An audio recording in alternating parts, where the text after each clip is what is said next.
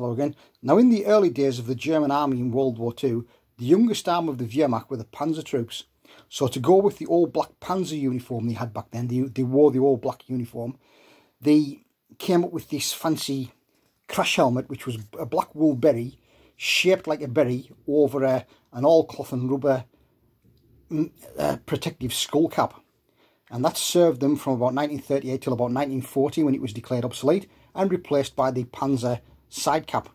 Now, when the the West German forces were formed, they were without a protective piece of headgear for their panzer troops, newly formed panzer troops. So the West Germans looked back to a traditional German type of headgear uh, in the pre-war Third Reich headgear and came up with their own simplified version. So in this instance, this is the Berry Panzer Schutzmütze Bundeswehr Armoured Troops crash helmet. Issued from 1955 to 1969, it was then overtaken by the introduction of a new series of berries for the West German Armed Forces, each with their own individual pressed metal badge. I'm sure you've seen the badges before on eBay. Um, this one is an olive wool beret, which in this instance is shaped over a piece of hard plastic formed um, skull cap. It has the machine embroidered Bundeswehr insignia on it. It has no specific unit insignia. It's Bundeswehr. Um, so it was issued to both tank troops, reconnaissance troops and what have you. No other cap badge was issued for this type of headgear. You have your rubber reinforced bumper thing there. The berry is not a permanent fixture because you have to take it off in order to wash it.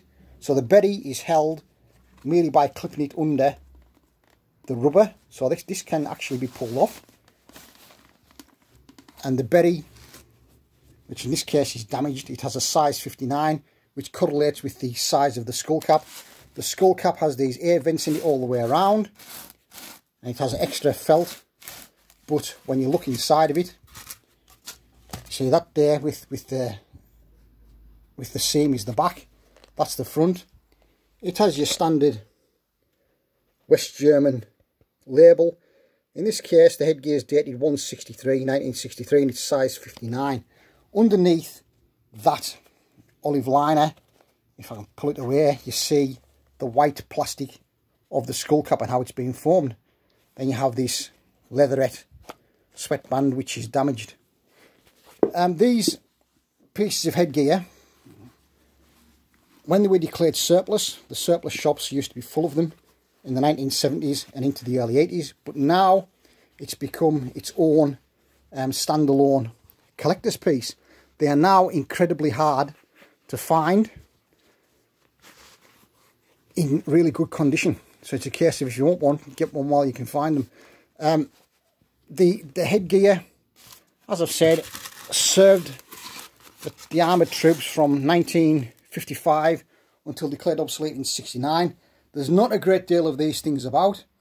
Um, eh, it's a classic case of yesterday's military surplus becoming today's standalone collector's item. When these were surplused, serious military collectors would not touch them. And then supplies dried up because they only made a certain amount of them. And now collectors want them for what they are. A kind of continuation of the old Third Reich Panzer Troop berry. Um, the uh, the berry badge is the national West German cockade with a pair of crossed sabres.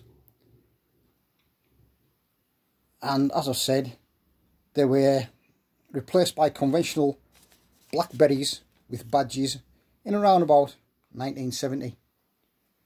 So quite a nice, strange collector's piece. And like I say, that, that seam there merely just clips under there to hold it back in when it goes back in. This one's a bit of damage, but because because the berry, as we call it, is a separate piece to the skull cap. You may find a separate berry on eBay, but this, this particular berry was never worn as a separate item. It was only ever worn with the additional skull cap. So that's the 1955 to 1969 Berry Panzer Schutzmütze Bundeswehr Armoured Troops crash helmet. And it's something that you don't really see them about nowadays. Bye for now.